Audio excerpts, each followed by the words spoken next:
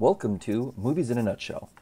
This is Star Wars Episode 1 The Phantom Menace, a 1999 American fantasy science fiction film written and directed by George Lucas. The Trade Federation creates turmoil in the Galactic Republic by blockading the planet Naboo in protest of recent legislation taxing major galactic trade routes. The Republic's leader, Supreme Chancellor Finis Valorum, dispatches Jedi Master Qui Gon Jinn and his apprentice Obi Wan Kenobi to negotiate with Trade Federation Viceroy Nute Gunray. Darth Sidious, a Sith Lord and Trade Federation's secret benefactor, orders the Viceroy to kill the Jedi and begin an invasion with an army of battle droids. But the Jedi escape and flee to Naboo. During the invasion, Qui Gon rescues a Gungan outcast, Jar Jar Binks. Indebted to Qui Gon, Jar Jar leads the Jedi to Otoh Gunga, the Gungans' underwater city. The Jedi fail to persuade the Gungan leader, Boss Nass, to help the planet's surface dwellers, but manage to obtain Jar Jar's guidance and underwater transport to Theed, the capital city of Naboo. After rescuing Queen Amidala, the group make their escape from Naboo aboard her royal starship, intending to reach the Republic capital planet of Coruscant. Passing through the Federation blockade, the ship is damaged in the crossfire, and its hyperdrive malfunctions. The ship lands for repairs on the outlying desert planet of Tatooine, situated beyond the Republic's jurisdiction. Qui Gon, Jar Jar, astromech droid R2D2, and Queen Padme Amidala, in disguise as one of her own handmaidens, visit the settlement of Mos Espa to purchase a new part for their hyperdrive.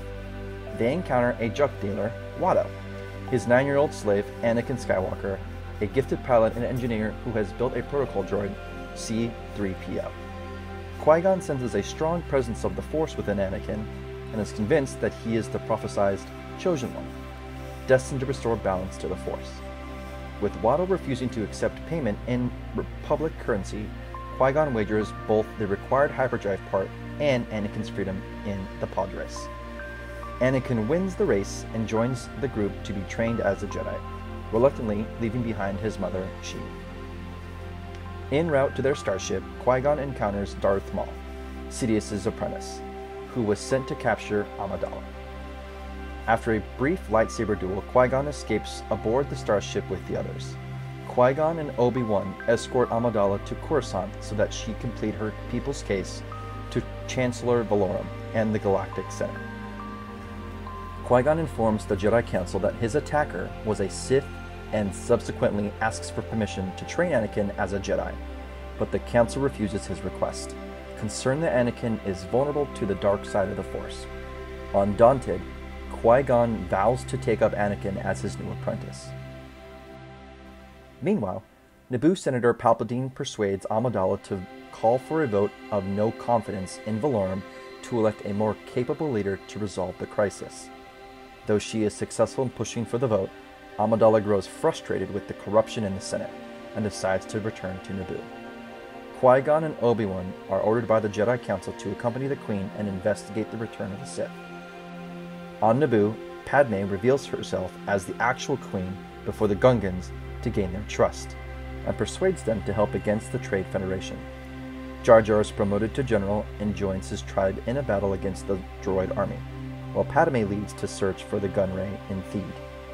Qui Gon tells Anakin to hide inside a starfighter in the palace hangar, but he accidentally triggers its autopilot and flies into space, joining the Naboo pilots in their battle against the Federation droid control ship.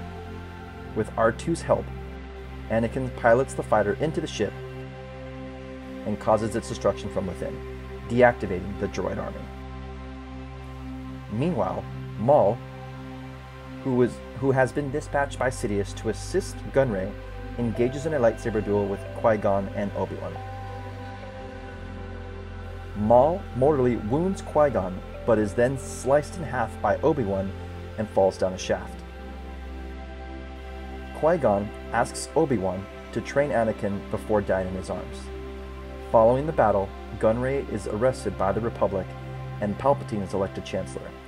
Master Yoda promotes Obi Wan to the rank of Jedi Knight and reluctantly accepts Anakin as Obi Wan's apprentice. A funeral is held for Qui Gon, attended by the other Jedi, who contemplate that there is still one Sith remaining since there are always two of them. During a celebratory parade on Naboo, Padme presents a gift of thanks to the Gungans to establish peace.